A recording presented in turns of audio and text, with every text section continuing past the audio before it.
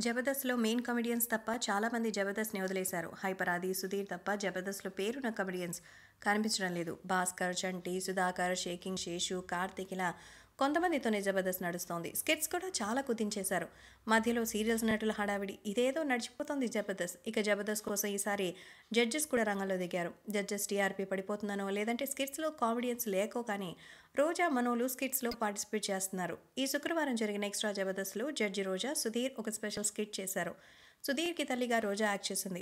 కొడుకు ఎన్ని తప్పులు చేసినా వెనకేసుకొచ్చే తల్లిగా రోజా చెప్పిన డైలాగ్స్ కడుపుబ్బ నవ్వించేలా ఉన్నాయి. ఇక మనో అయితే రాకింగ్ రాకేష్ స్కిట్‌లోకొచ్చి ఆడవాళ్ళ గొప్పదనం గురించి ధారాళంగా మాట్లాడారు. రోజా అఆల దగ్గర ఆగిపోతే హీరోయిన్ అయ్యేది కాదని, ఏబీసీడీల దగ్గర ఆగిపోతే ఎమ్మెల్యే అయ్యేది కాదని వైజాగ్ నుంచి వచ్చి తెలుగు రాకపోయినా యాంకర్ అయింది రష్మి అని గుంటూరు మిర్చితో గుంటూరు వెళ్ళిందంటూ మనో రాకేష్ స్కిట్‌లో పర్ఫామ్ చేశారు. మరి రోజా, మనో స్కిట్స్ చేశారంటే స్కిట్స్ తక్కువై ఉంటాయి. అందుకే ఇలా చేస్తున్నారంటున్నారు. పాపం కమెడియన్స్ లేకపోయేసరికి జడ్జెస్ కూడా స్కిట్స్ చేసుకోవాల్సి వస్తుంది అంటున్నారు నెటిజన్లు. మరి దీనిలో నిజం కాదంటారా? ఎందుకంటే ఆల్రెడీ చాలామంది స్టార్ మాకి ఇంకొంతమంది ఇంకొక చోటికి వెళ్ళిపోతున్నారు. ఎలా ట్రై చేసినా ఇప్పుడు జబర్దస్త్ పరిస్థితి మాత్రం కాస్త ముందు కంటే ఇప్పుడు కళ తగ్గింది అన్న మాట వాస్తవం. ఇక ఆ కళ అయినటువంటి సుధీరో లేకపోతే ఏ హైపర్ ఆది వీళ్ళలో ఎవరు ఒక్కరెళ్ళినా చాలు జబర్దస్త్ నెత్తిలో గుడ్డేసుకోవాల్సిందే అనేది నెటిజన్ల మాట.